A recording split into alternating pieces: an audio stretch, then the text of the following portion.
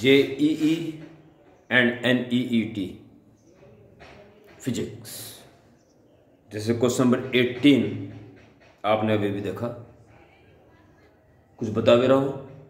और इस वीडियो की इंपॉर्टेंस ये है कि कुछ कुछ क्वेश्चन का रास्ता तक भी नहीं मिलता कि शुरू कैसे होगा। क्वेश्चन पूरा समझ में आ जाता। है पर जरा से रास्ता नहीं मिलता, शुरू कहाँ से करें? और थोड़ा बहुत रास्ता मिलता है तो फिर वो क्वेश्चन होता नहीं है।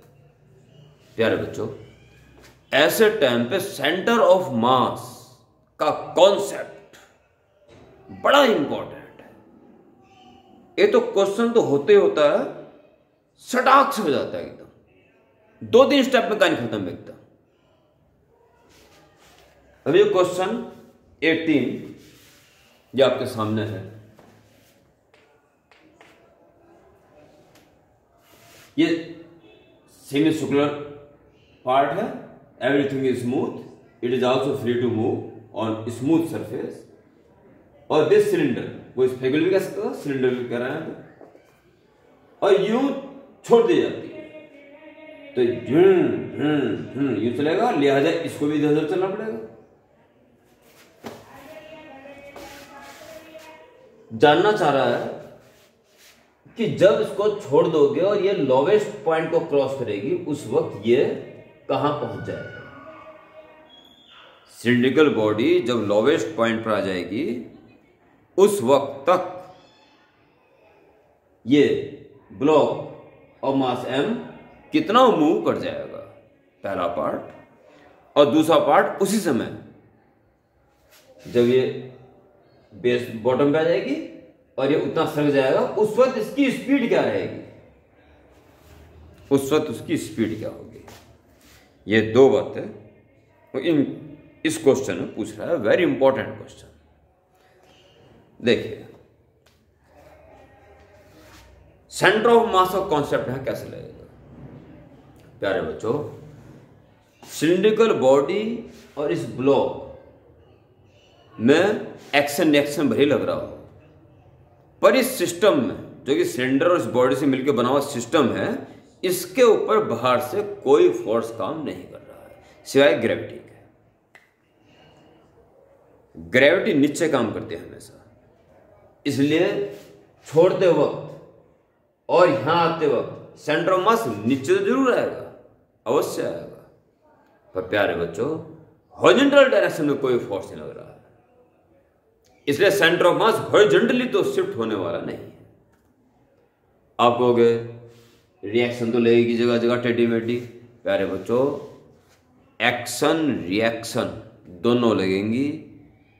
परंतु इस सिस्टम पे बाहर से लगने वाला कोई भी फोर्स नहीं है। सिवाय ग्रेविटी के। ग्रेविटी है बाहर से तो सेंटर ऑफ़ मास इसके इफ़ेक्ट में नीचे ज़रूर जाएगा। पर हॉरिजॉन्टल कोई फोर्स नहीं है सिस्टम पर, बाहर से। एक दूसरे को भले ही हो। तो सेंटर ऑफ़ मास हॉरिजॉन्टल तो मूव नहीं करेगा। क्लीन कॉन्सेप्ट है। अगर ये सिलेंडर ना होता तो इस ब्लॉक की लाइन ऑफ़ सिमेट्री ये है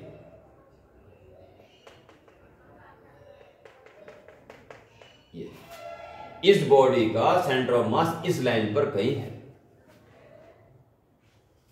केवल सिलेंडर का? एक्शन लाइन ये होगी।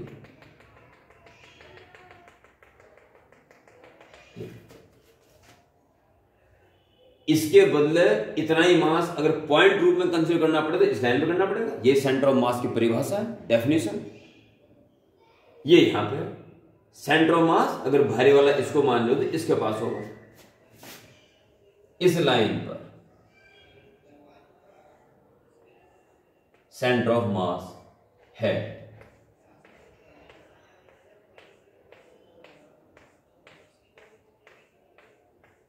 क्यों मैंने इतनी लंबी लाइन खींची? इसलिए इतनी लंबी लाइन खींची प्यारे बच्चों, कि सेंटर ऑफ़ मास की ये लाइन ना तो लेफ़्ट हटेगी, ना राइट हटेगी, ये यहीं पे ही रहेगी। चाहे ब्लॉक और सिलेंडर को इधर उधर आना जाना पड़े। जब ये बॉडी बॉटम पे आ जाएगी तो बच्चों, थोड़ा ध्यान देने वाली बात है, कुछ इतना बड़ा क्वेश्चन नहीं है। इसकी सेंटर ऑफ़ मास इस लाइन पे था, और अब रहा था, वो भी यहीं पे वो इस लाइन पे आ गया। अब दोनों सेंटर ऑफ़ मास एक ही लाइन पे है। सिस्टम सिस्टम का सेंटर मास इसी लाइन पर है। परंतु वो लाइन तो ये है ऑलरेडी पहले से ही। यानी कि जब इन दोनों के सेंटर ऑफ़ मास एक वर्टिकल लाइन में आ जाएँगे तो वो वर्टिकल लाइन इससे कॉन्सिडेंट भी हो जानी चाहिए। क्योंकि वर्टिकल लाइन इधर उधर शिफ्ट नहीं हो रही है सेंटर ऑफ़ मास की। यानी वो मोमेंट जो सिंडिकल लोवेस्ट पॉइंट पे आ जाएगा, ऐसा होगा।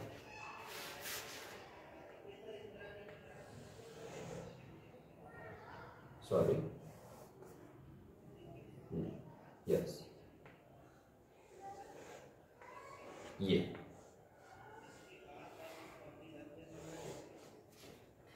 तो अब सेंटर ऑफ़ मास दोनों, इस लाइन पे है, और ये लाइन वही होनी चाहिए जो पहले थी। बस, इसी बात को चाहो तो दोबारा सुन लो। पॉज करके भेजा, खाली करो यहाँ पे। ये चीज़ समझ आ गई तो आप बहुत बड़ी बात प्राप्त कर लो। उसके बाद दो बॉडीज का जो सेंटर ऑफ़ मास होता है तो मैंने बड़ा आसान तरीका बता रखा है। इधर वाला मास इंटू उसकी डिस्टेंस सेंटर ऑफ़ मास से। इज़ इक्वल टू इधर वाला मास इंटू उसकी डिस्टेंस सेंटर ऑफ़ मास से। तो कर लीजिए। तो ये जो कितना सरका भाई ये वाला इतना सरकी यहाँ पे आ गई, ये मिड पॉइंट यहाँ पे आ गया। यानी इतना सरका इतना। ये मैं निकालना एक्स इस एक्स वैल्यू में निकालनी है कि कितना सरक गया। और टोटल कितना जरा सोच लो।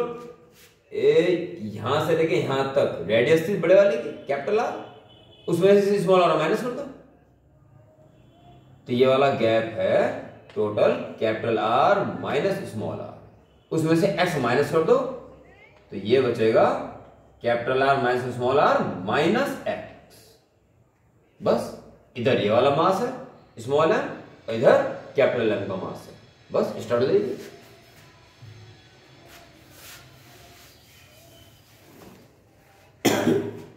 ये हो जाएगा एम इंटू सेंटर मास उसी distance r minus R minus X is good इधर वाला mass capital M into X बस, ऐसे कर दो।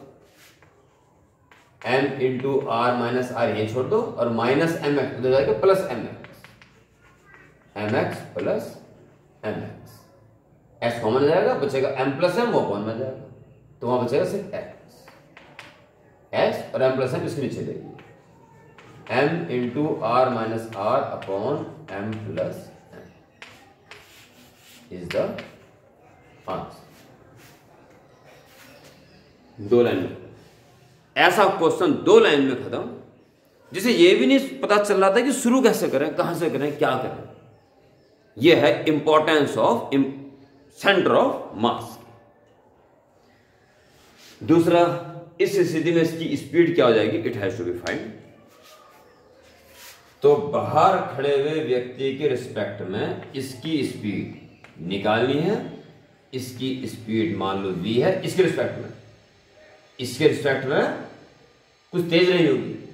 पर इसके रिस्पेक्ट में उतनी तेज रही होगी साथ साथ इसके साथ पीछे बैठ रहा हूँ इसलिए इसे कुछ कम नज़र आ रही है।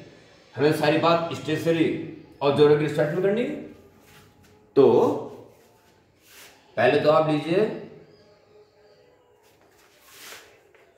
according to law of conservation of moment according to law of conservation of momentum देखिए, शुरू में कोई मोमेंटम नहीं था। तो जो यहाँ पहुँच गया, तब भी कोई मोमेंटम नहीं रहना चाहिए। अर्थात ब्लॉक का जितना इधर हो गया, उतना ही इस सिलेंडर का इधर हो गया होगा, ताकि नेट अब भी ज़ीरो ही रहे।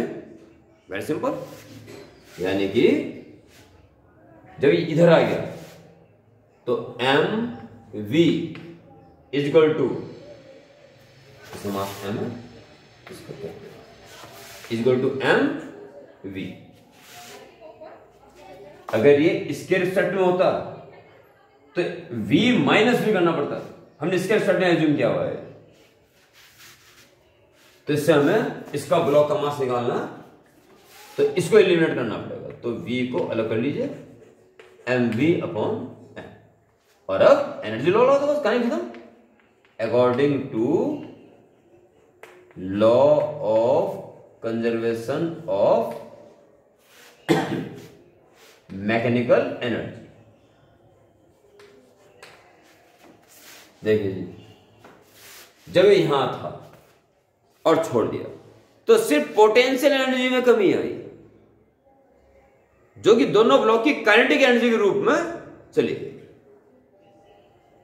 जितनी दोनों मिलाई काइनेटिक एनर्जी हो जाएगी, उतनी उस सिलेंडर की पोटेंशियल एनर्जी में कमी आएगी दैट्स ऑल तो एम जी कितना हाइट नीचे गिरा वो? पहले ये सेंटर यहाँ था, और अब यहाँ आ गया। यानी capital R minus small R इतना नीचे गिर गया। इतनी पोटेंशियल एनर्जी कमी होगी, जो कि किस रूप में चले गई अब? दोनों ब्लॉक से काइनेटिक एनर्जी की half M V square cylinder का उस तरफ़ plus half M V square block का इस तरफ़। जितने पोर्ट्स में कमी होगी, उतनी काइनेटिक एनर्जी बढ़ जाएगी। और काइनेटिक एनर्जी दोनों ब्लॉक्स में बढ़ रही दैट्स ऑल और इसको एलिमिनेट कर लो वी को कैपिटल वी में निकालना, बस that's all M G R minus R is equal to half M और V square means M square V square upon small M square plus half M V square इससे ये square cut कर दीजिए। और आप क्या करेंगे कि उसमें से कॉमन ले लीजिएगा, क्या आएगा? एक तो हाफ़ कॉमन आएगा और capital M V square common ले लीजिए। हाफ़ एम वी स्क्वायर तो एक एम बचाएगा और नीचे एक एम बचा हुआ एम अपॉन एम प्लस वहाँ तो पूरे बार चला गया वन और इस साइड बचेगा M G R minus R okay so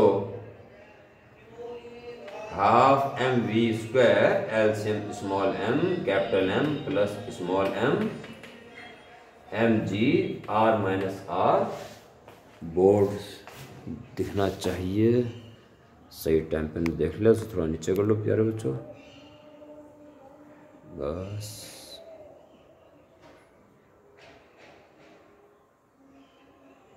हम्म। और v square is equal to ये टू एम उधर भेज दो।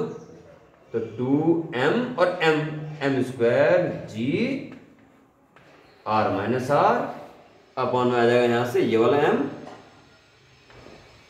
और